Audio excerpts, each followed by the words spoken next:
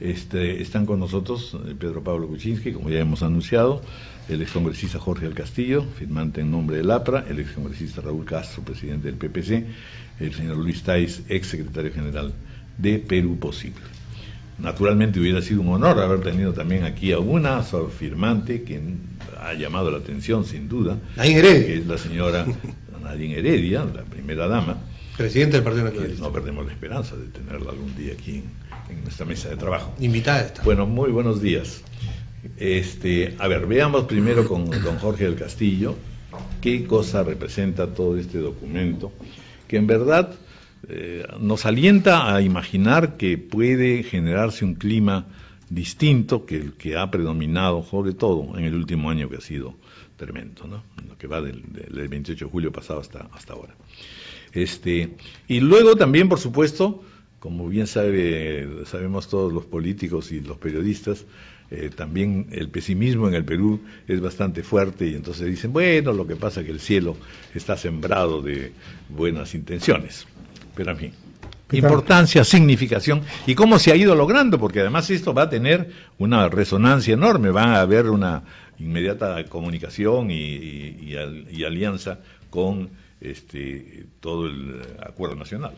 Sí, justamente lo vamos a presentar en unos minutos en el acuerdo nacional formalmente al primer ministro. Creo que este es un instrumento muy importante eh, porque conversando entre, entre amigos, porque somos amigos, surgió la iniciativa de, Luis Taís de reunirnos y nos juntamos en su casa, compartiendo un momento con Raúl y otros eh, secretarios generales de partidos, y la verdad un tanto alarmado por, por, la, eh, por este mm, espacio que no es política, sino es politiquería, de chisme, de cosas menores, que ha ido predominando en los últimos tiempos. Pero con rencillas y insultos también. ¿eh? Pero por supuesto, entonces hay que salir de eso, hay que elevar el nivel de la política para que la próxima campaña sea un ejemplo de docencia, ¿no? de magisterio, y, por cierto, para que nuestra actividad política también esté ubicada en el lugar que le corresponde.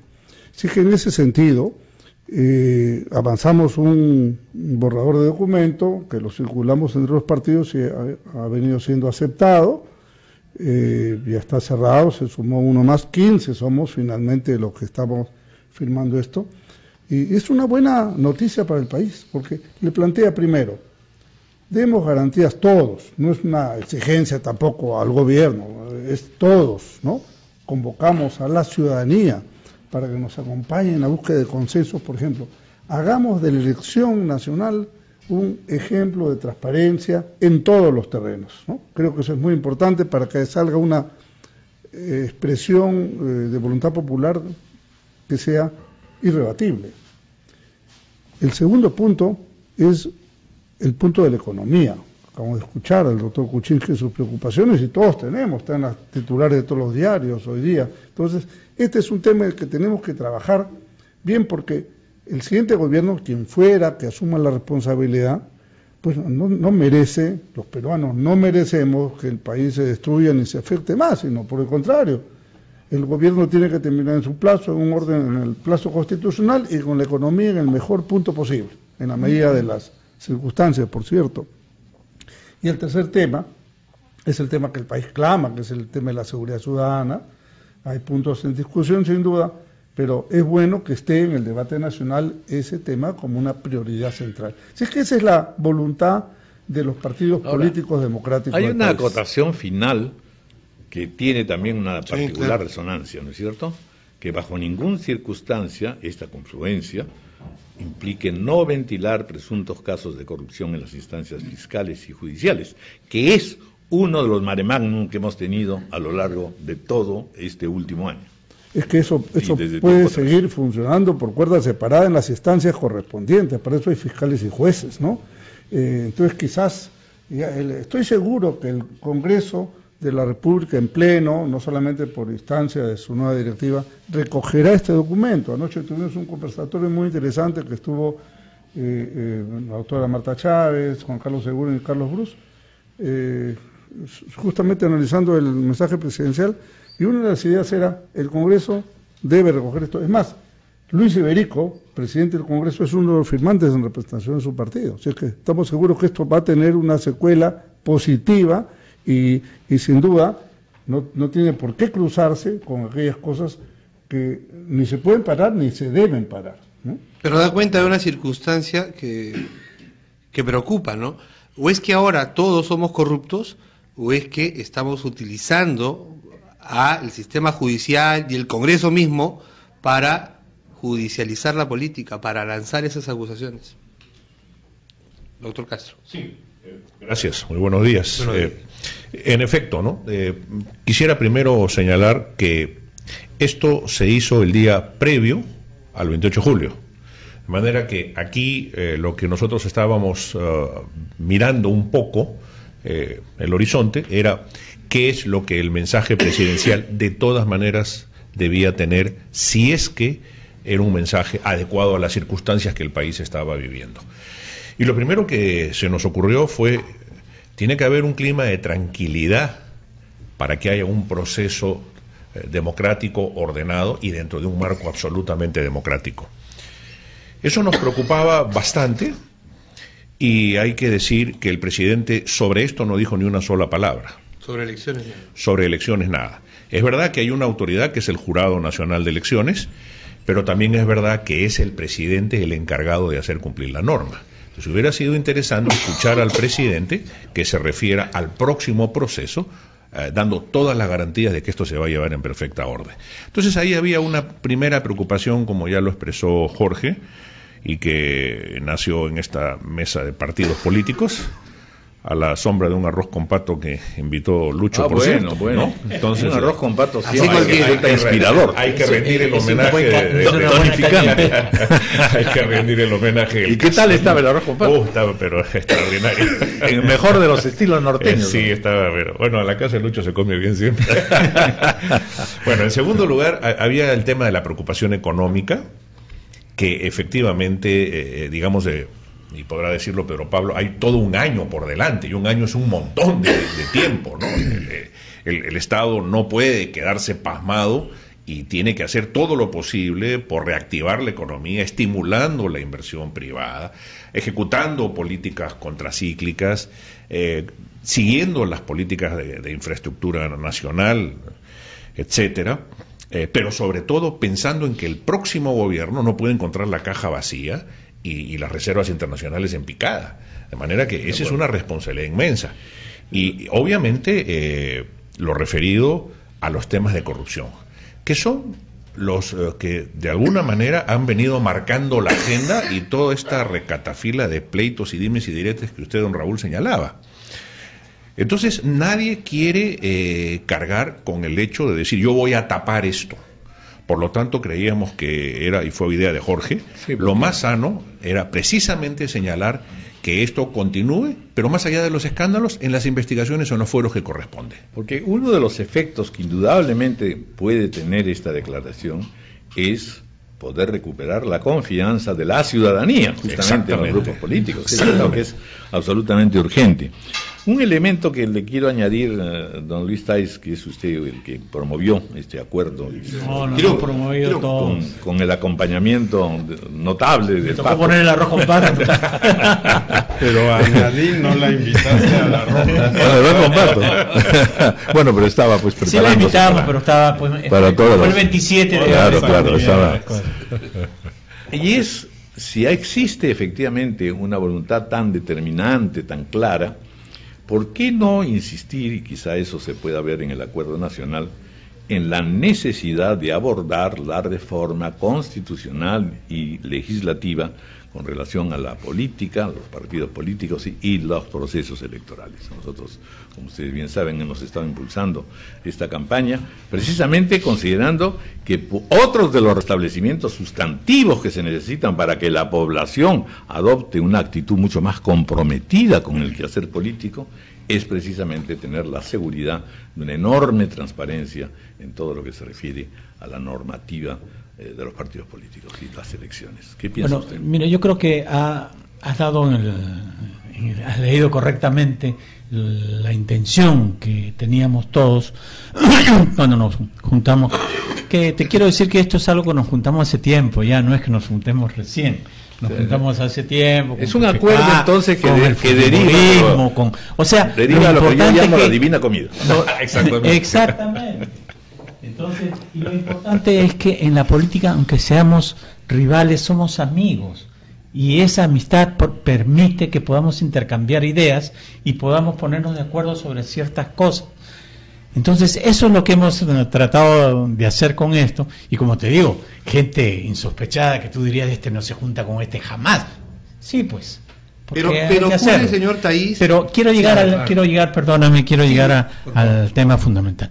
Esto señala unas preocupaciones para que la transferencia democrática, esta es la cuarta transferencia democrática que se haría, ¿no? De los últimos años, y debemos de tener una quinta y una sexta y una séptima, pero debemos de ir creando una especie de un protocolo de cómo el último año de gobierno hay un trabajo ya más conjunto entre todas las fuerzas para que el país no, no, no tenga problemas. En segundo lugar, creo que aquí también tiene que ver lo que nosotros como partidos políticos tenemos que hacer para volver a lograr la confianza de la ciudadanía. Porque estamos desacreditados totalmente y eso tenemos que reconocer. ¿Qué tenemos que hacer? Tenemos que acercarnos a la gente y tenemos que portarnos de una manera decente. ¿Y eso qué implica?